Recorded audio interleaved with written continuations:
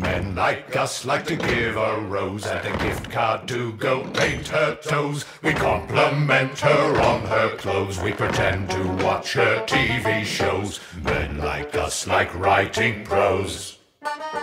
Ladies like us want to get a card and not some flowers from the neighbor's yard. How about a gift more avant-garde? You know we drive a bargain hard.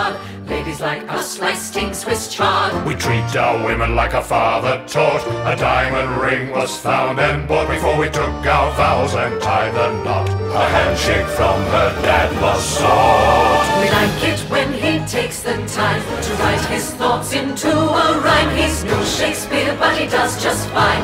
Will you be our Valentine? Men like us like rum. And ladies like us like rum. Responsibly.